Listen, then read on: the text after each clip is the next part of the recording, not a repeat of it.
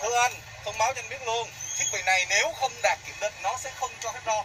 Nó sẽ lóc khóa luôn không cho phép đo. Anh yên tâm về chuyện đó. Đâu anh phải ghi rõ cho không phải một không chín chứ. Đây đây đây kế bên. Không phải một không chín. Đúng không? Đây đây đây. Không phải một không chín. Đây cái tay nè. Rồi ok. Không một cái mà lỗi một thôi. Là giữ một cái bằng lái xe của anh là A1 với B2 một cái đăng ký xe. Sổ đăng kiểm. Và một xe ô tô. Đã quyết định tạm giữ lại. Thì giữ xe ô tô chứ chứ. Anh làm luật sư thì anh không biết cái nồng độ cồn là phải giữ xe ô tô. Quy định từ lúc giờ rồi. Phải là mới đây. Cho anh coi nghị định kìa. Có nghị định cho anh coi. Biện pháp bổ sung mình phạt bổ sung. Ngày 30 tháng 12 năm 2019 nghị định trăm. Mấy ông vừa mãi rồi tự giữ xe tôi làm gì? Chống nghị định. tôi đã đưa cho tác hết rồi. không được phép điều khiển xe. À là nghị định định bốn này. mươi đó nghị định một trăm chính phủ đó. Đó là luật anh đi công tác bên đoàn luật sư thì mới biết cái luật nó ta ra ban hành rồi. Rồi mời anh ờ, đây. Hiện tại những cái biện pháp bổ giữ sung mà anh không nghiên cứu Còn phần này phần giải trình trong năm ngàn giải trình thì tới ờ, trung tá đoàn nhân quế. Có dân phòng giải trình. Không bây giờ tôi đã đưa giấy tờ tôi hợp tác anh hết trơn rồi bây giờ giữ xe tôi là sao? còn xe máy cũng giữ xe ô tô cũng, cũng giữ. Khi mình có đồng cồn là không được phép điều khiển xe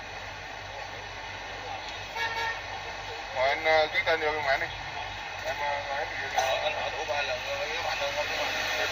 có yêu cầu anh đó là coi như chấp hành. chính phủ ban hành là giữ xe. 7 ngày. Cái phần cuối là số 56 của anh là cái mức ờ, không ờ, chưa chưa vượt quá không 25 còn giờ nghiên cứu luật của anh anh phải về nhà tự nghiên cứu nha. Hả?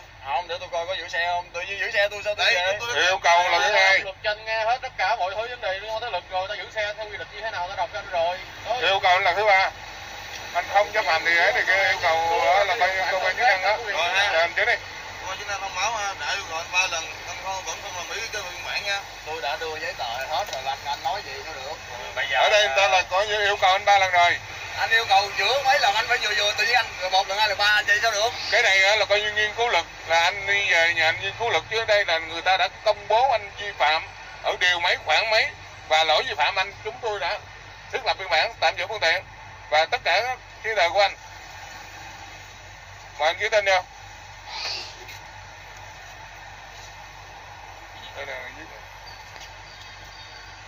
mà anh ký tên nhau đi.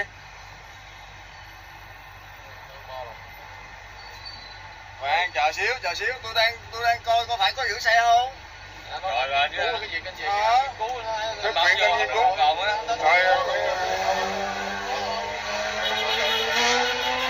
không cần nghe được chứ anh Tôi đang kiểm tra có phải giữ xe không?